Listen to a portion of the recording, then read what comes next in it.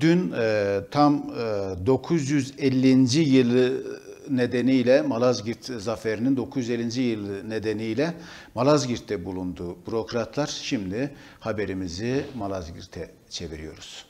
Arada maşallah. Kentin tanıtımına katkı sağlamak amacı ile 68 ülkeden 150'ye aşkın büyükelçi ve diplomat Van'a geldi. Van Valiliği ve Büyükşehir Belediyesi'nin ev sahipliği yaptığı etkinlikte diplomatlar iki gün boyunca kentin çeşitli yerlerini ziyaret edecek.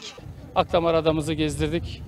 Ee, önemli bir nokta bir İslam medeniyetinin içinde e, bir e, yapının olduğunu görmeleri onlar adına da önemliydi açıkçası.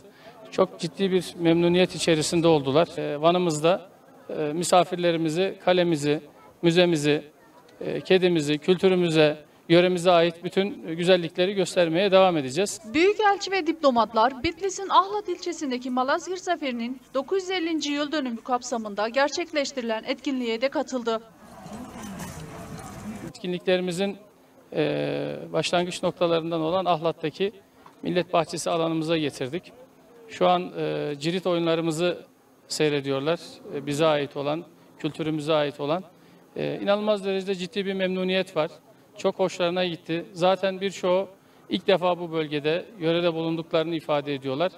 Ve bundan dolayı da büyük keyif aldıklarını ifade ettiler. 1071 Sultan Alparslan Otağı'nın kurulduğu Çarho mevkiinde millet bahçesine gelen büyükelçilikler etkinliğe katılan ülkelerin ve belediyelerin sergilediği çadırları da gezdi.